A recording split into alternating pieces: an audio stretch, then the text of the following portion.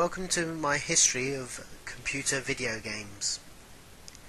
The story really begins in 1951 at the Festival of Britain's Exhibition of Science.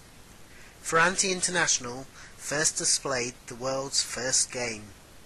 It was an old logic game called NIM. The following year, in 1952, A. S. Douglas at the University of Cambridge in the UK created a one-player game of tic-tac-toe as a test for his EDSAC computer. Then, in 1958, the world's first sports video game was shown to the world, called Tennis for Two by William Higginbotham. This actually had moving graphics using an oscilloscope to display a moving ball. In the 1960s, the PDP, which stands for Program Data Processor, is one of the first computers to have a monitor display and was wowing university geeks all over America where the system was being installed. In the University of MIT in 1961, one of the students, Steve Russell, known as the Slug, and his friends at MIT were working out what they could do with this new machine. One of the projects they decided to write was the world's first real game. They called it Space War, inspired by the Lensman Skylark science fiction novels that he was reading at the time. Space War had two ships circling the sun where they must shoot each other. The game evolved with different MIT members, each adding a bit to the game. They put together the world's first game controller to even control the game. Nolan Bushnell had come across this game at university and could see a market in the arcades, where he worked part-time. Currently the pinball filled with pinball and mechanical games. But with the PDP-1 costing $120,000, the maths just didn't add up. Fast forward on to 1966. Ralph Baer, a lead engineer working for Sanders Associates, convinces them to allow them to set up a division designing interactive television device.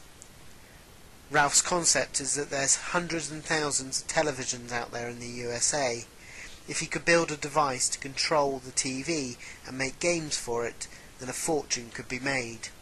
In 1968, Ralph Baer had moved far enough along to file a patent effectively patenting any type of video game.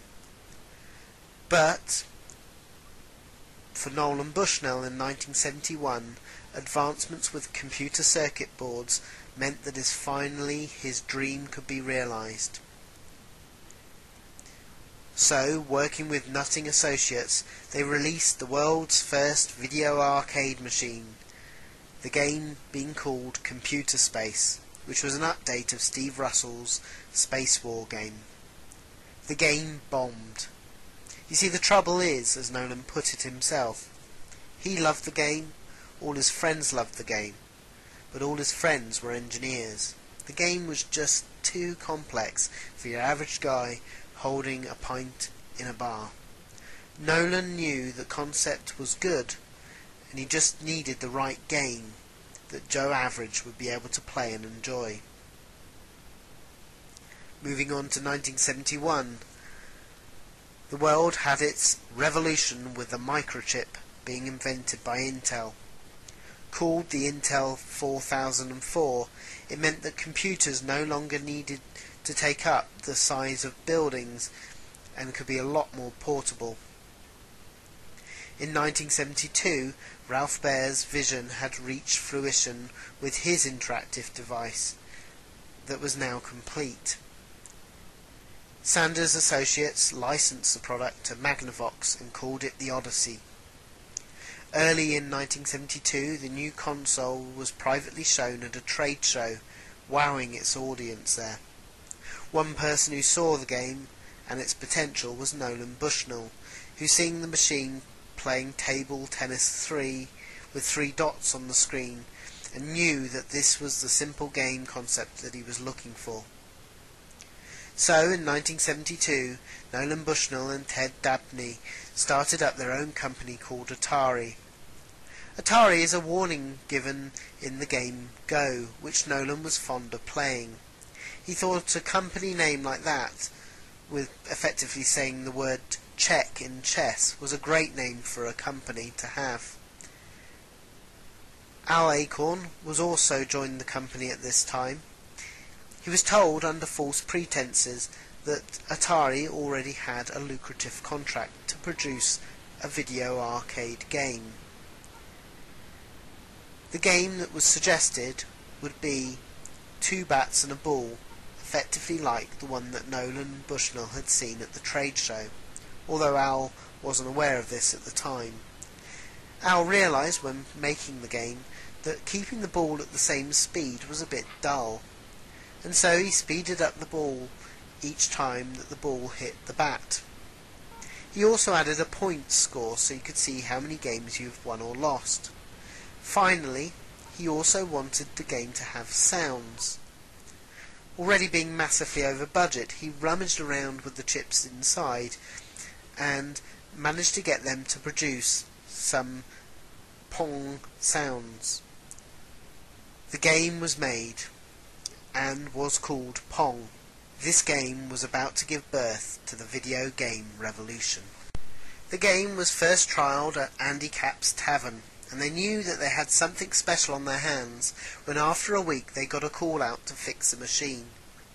On arriving they discovered that the fault wasn't with the machine itself but the coin holder, which had filled up to the brimming point with coins, and so couldn't accept any more coins. From there on in, Pong was released to the world, and the world went Pong mad. Nolan Bushnell attributes the success of the game to its simplicity and the fact that women tend to be better game players. And so it became sociably acceptable for women to ask men for a game of Pong. This meant it was a great way to break the ice. Also in 1972, the Odyssey was finally released ready for Christmas. Initial sales were pretty slow, with part of the issue being that people thought that you needed a Magnavox TV to play the games, and so affecting sales.